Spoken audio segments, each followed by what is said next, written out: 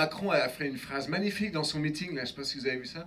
Il a dit « Nos vies valent mieux que leurs profits » en parlant des EHPAD et Orpea et compagnie. Vous vous rendez compte C'est une phrase du, parti anticapitaliste, ça. Mais, il doute de rien, lui. Hein. C'est le en même temps ultra-libéral et en même temps quand même un petit peu trotskiste. Hein, voilà. Je suis trotskiste, voilà, je, le dis. C'est comme si euh, Poutou disait ben, leurs dividendes valent mieux que nos salaires. Voilà. T'imagines Poutou dire ça? Monsieur Fillon, vos dividendes valent mieux que nos salaires. Vous avez bien fait d'accepter de bosser pour Gazprom. Bien vu. J'aurais fait pareil.